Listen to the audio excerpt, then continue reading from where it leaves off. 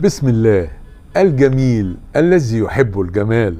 خالق هذا الكون البديع كأجمل رسالة حب إلى مخلوقاته. دي حلقة من سلسلة حلقات أحلام نجيب محفوظ بنحاول فيها نيسر تذوق الجمال الأدبي لآخر إبداعات عظيم الأدب العربي. أستاذ الحبيب نجيب محفوظ النهاردة الحلم رقم 263 يبدأ هكذا.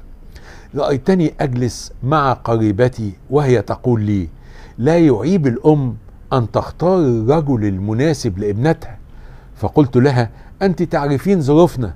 فقالت لن نكلفك مليما واحدا.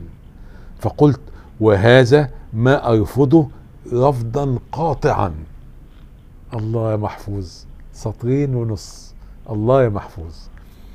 بيعبر فيهم عن حاجة مهمة في حياتنا وأقول لكم حاجة هذه هذا النص هذا الحلم هذه التجربة مر بيها الأستاذ نجيب محفوظ شخصيا هو هو شاب.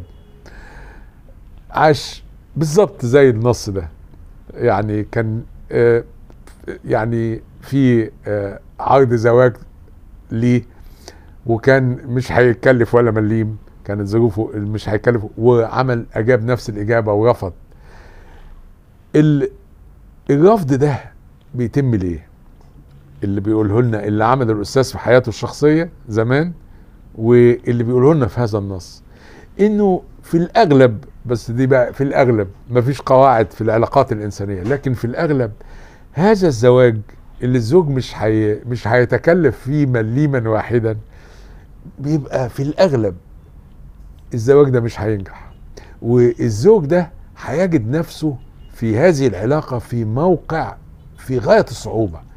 معظم الرجالة لا يقبلوه وبالتالي في الأغلب ده هيفشل. مش معنى كده إنه لازم يفشل. وزي ما يجوز قلنا في نصوص سابقة إنه العلاقات الإنسانية ملهاش قواعد وإنه بنقول ان هو في الأغلب هيفشل لكن طبعا في استثناءات استثناءات كتير. حياتنا كلها استثناءات. لكن محفوظ بيشاور على هذا الجانب وإشارته جميلة ومهمة. وهذا ما قدر الله لنا أن نقوله والله أعلم.